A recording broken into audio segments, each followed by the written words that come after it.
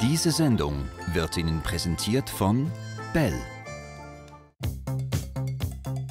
Ein Grillduell auf Zeit, ein helfender Grillchef und eine dreiköpfige Jury.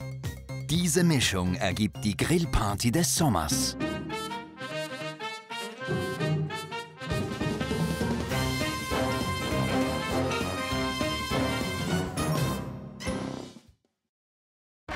Heute bei Die Promigriller, die schönste Schweizerin 2010, Kerstin Cook.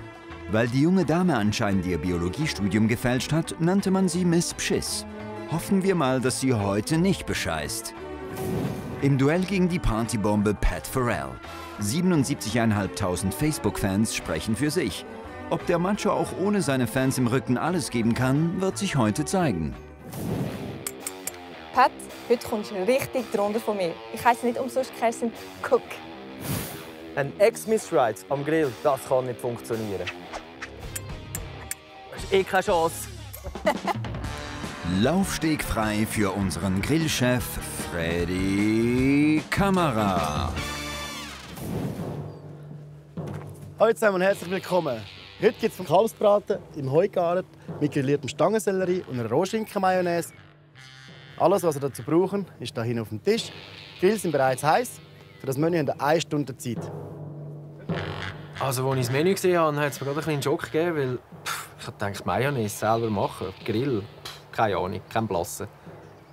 Wenn ihr ein Problem habt, könnt ihr mich mit dem Glöckchen läuten. Komme ich in Minuten zu euch. Viel mehr gibt es nicht zu sagen. Auf die Flamme, fertig, los! Spaß. Bleibt mir an dieser Stelle eigentlich nur, euch viel Spaß zu wünschen. Ich werde ihn auf jeden Fall haben. Das ist übrigens der Eisi. Oh ja, ich sie. Pat, mach der Kerstin doch mal eine Krone, so wie sie sie verdient hat. Dadurch hat er schon eine Kopfbedeckung. Dass es ein bisschen besser aussieht. Hey, bist du charmant. Du Unverschämter. Zu einer Miss gehört doch eine Krone. Hast du das Fleisch schon? Noch nicht, oder? Nein, wahrscheinlich wegen dem Hund, weil er es wahrscheinlich schon gegessen hat. Äh, der Hund wird doch wohl nichts vom Teller wegessen. Wo wir gerade beim Hund sind, was für ein Tier ist eigentlich ein Kalb? Das Kälbchen. Ein Kälbli ist... Was für ein Tier? Also jetzt... Jetzt bringen ihr mich extra draus, dam- damit ich noch mehr Fehler mache. Jungs Kühl. Pat, das hätte sogar der Hund gewusst. Kerstin, wie macht eigentlich ein Kalb? Hm, Großes Kino. Oh, danke vielmals. Na, bitte für gar nichts. Verdient hast du dir das ja nicht wirklich. Nein, dann isst mir hier der Rohschinken weg. Ich habe extra Rohschinken rausgenommen. Genau wegen dem. Ist der Hund also doch vom Teller? Böse Icy. Du schaust mir jetzt viel da rüber. Du machst alles gleich wie ich. Überhaupt nicht. Die Kombination klauender Hund und Abspicken macht die Kerstin echt zu Misspschiss. Was hat er mir jetzt wieder gegessen? Er sah aus wie Butter. Liebe dich, Eisi. habe ich gar nicht Schön, bravo. Ich gar nicht mehr. Mein Hund ist mein Keimwaffe. Da habe ich extra mitgenommen, dass er bei meinem Gegner alles weg isst und dass er fast nicht mehr hat zum Arbeiten. Und äh, das super gemacht. Das ist jetzt aber ganz unfair. Ich, ich habe gar keine Zutaten mehr.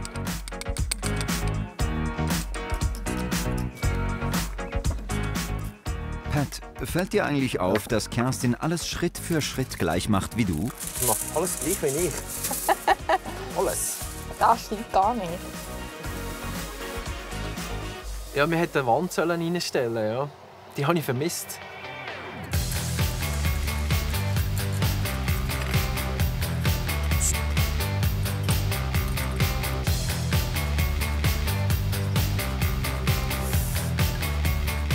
Ja, das ist im Fall gut, das, was du jetzt gerade nimmst. Das macht mega mild. Sambal Beleg. Hast du irgendeine Ahnung, was das ist? Nein. Dann würde ich vielleicht nicht zu viel reinknallen. Da freut sich der Pat. Sicher sweet und sauer. Du bist so, du bist so fies. Oh, da hat Kerstin die Fluchwortkurve ja gerade noch gekratzt. Na, endlich geht's ans Heu.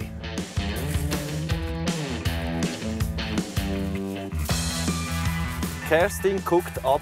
Das geht Wieso gar guckt nicht. ab? Was machst du denn jetzt? Noch nichts. Vielleicht ist das für das Gemüse.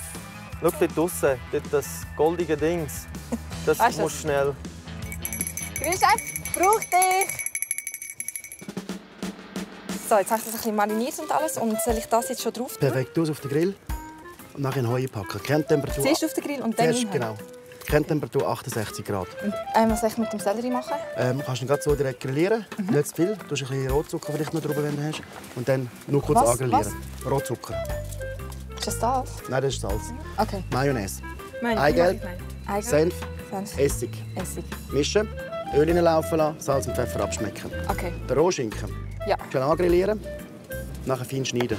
Fein Und schneiden. Mayonnaise drunter mischen. Und Mayonnaise drunter mischen.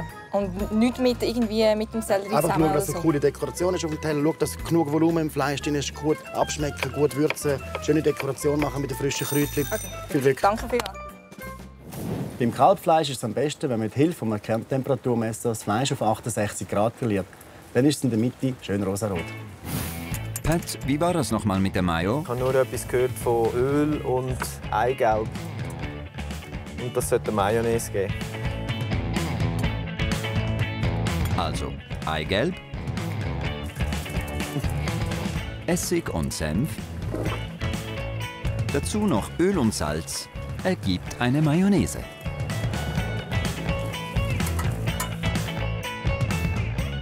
Hey Pat, ich würde dir anraten, so schnell wie möglich den Grillchef zu rufen. Grillchef, ich brauche dich. So, bitte, was kann ich tun für dich? Also, ich habe ein Problem mit der Mayonnaise. Ja. Eigelb, Ja. Senf, Essig. Was mache ich, wenn ich das auch schon gebraucht habe? Hat genug. Das langt. Ah, das längert. Nachher tust du es rühren und das Öl langsam reinträufeln lassen. Es braucht relativ viel Öl. Öl oder Butter? Öl. Öl. Öl. Also Oliv? Nein, das normale Öl. Sonnenblumenöl, genau. Das da. Ja, perfekt. Salz, Pfeffer gut abschmecken. Okay. Kommt gut. Rohschinken grillieren, fein schneiden und die Mayonnaise untermischen. Ah, Grill noch, den Grilltipp noch zum Anrichten. Du das Heu weg vom Teller. Dass die Leute schmecken, dass es Heu ist, aber das Heu hat auf dem Teller nichts verloren. okay. Ist gut? Alles klar. Stangensellerie auch gut abschmecken. Viel Glück. Danke. Oh oh, Pat sieht aber nicht gerade zuversichtlich aus.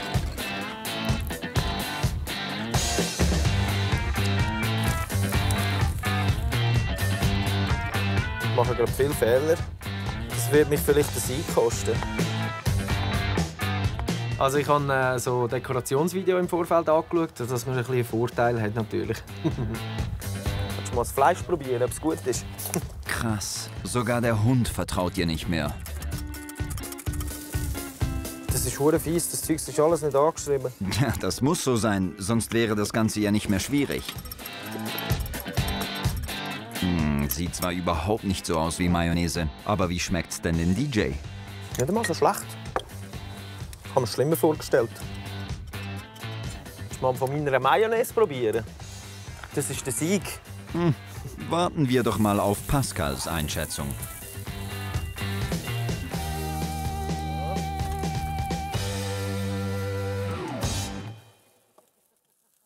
Es hat gut geschmeckt, ähm, es hat gut ausgesehen, mein Fleisch. Und äh, ich bin da zuversichtlich, dass das Fleisch sicher gut ist.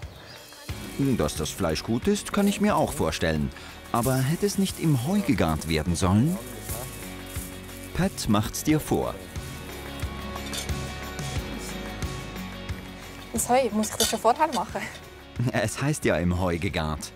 Nein, aber auf dem Teller. Nein, im Heu gegart. Je länger man das Kalbfleisch bei niedrigen Temperaturen im Heu grilliert, desto mehr Aroma bekommt es vom Heu und umso zarter ist es. Vorausgesetzt, man weiß, was im Heu gegart bedeutet. Oh ja, das ist gut. Wow, Kerstin hat die Kurve offenbar gekriegt.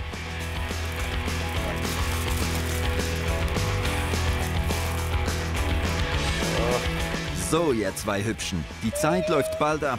Auf zum Endsport.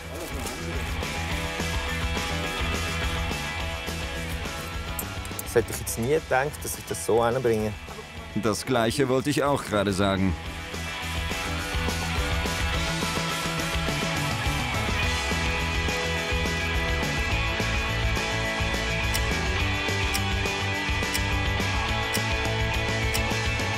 Stopp! Alles stehen und liegen lassen.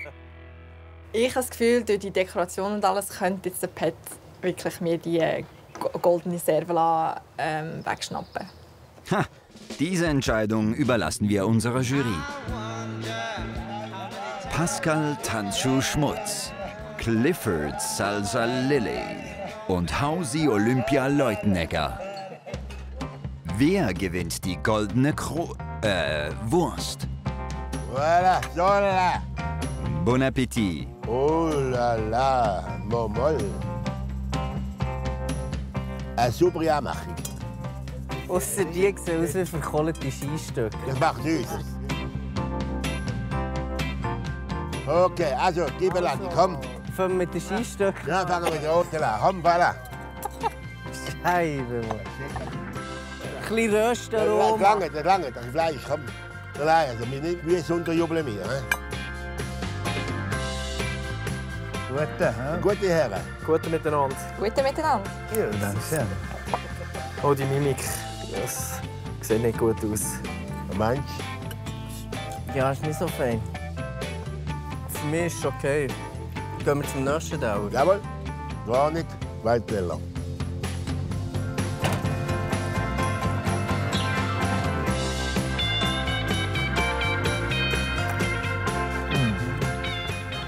Fleisch ist sehr gut. Das Fleisch ist sehr gut.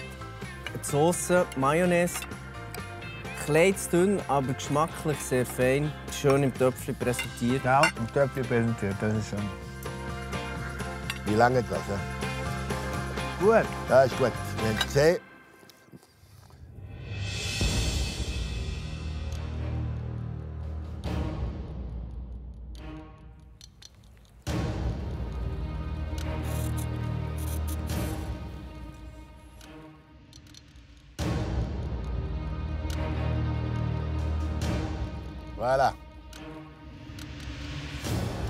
Die beiden Teller sind etwa gleichwertig. Das Fleisch war gut, für mich zu wenig gewürzt. Und das Gemüse ringsherum das hat, mir, hat mir nicht so gefallen. Und die Soße war viel zu dünn. Darum gebe ich grün 6 und rot ein 4. Ja, fein ist es. Also die grüne Teller war sehr hübsch eingerichtet. Mir hat sehr gut gefallen. Äh, diese kleinen Tomaten wie so wie Herzen, äh, wie, wie Sternchen geschnitten. Dann der rote Teller auch lieblich eingerichtet, aber ja hat nicht so der Charme von der grünen Teller. So gebe ich der rot 7 und grün 9. Wer auch immer auch rote gemacht äh, Das Gemüse, äh, der Stangensellerie, hat mich erinnert an Reste vom 1. Augustfeuer. Ähm, die Mayonnaise mit Rohschinken ist irgendwie so, pff, ich weiß auch nicht, eine undefinierbare Flüssigkeit. Gewesen. Beim grünen Tauer hingegen der Sellerie hat, äh, ist gut abgeschmeckt, gewesen, es hat äh, fein geschmeckt. Die, äh, die Sauce, die Mayonnaise in einem Töpfchen, gute Idee. Das Fleisch sehr guter Garpunkt. Ähm, das Heu hat nicht müssen sein, darum grün 4, rot 2 Punkte. Ich habe es gewusst, ein Ex-Miss passt einfach nicht an den Grill. Yes! Nächste Woche bei Die Promi-Griller. Das Comedian-Duo Sutter und Pfändler. Ja gut, wir müssen loslegen. Mach mit beim Promi-Griller-Wettbewerb und gewinne einen Gutschein für die neuen Salami-Sticks und Minis von Bell im Wert von 100 Franken. Beantworte einfach folgende Frage. Wie macht eine Kuh? A. B. Mu. Sende eine SMS mit dem Kennwort Griller A oder Griller B und deine Adresse an die Zielnummer 920. Eine E-Mail an griller.sat1.ch oder rufe uns an unter 0901 595 509. Jeder Anruf und jede SMS kostet 90 Rappen. Diese Sendung wurde Ihnen präsentiert von Bell.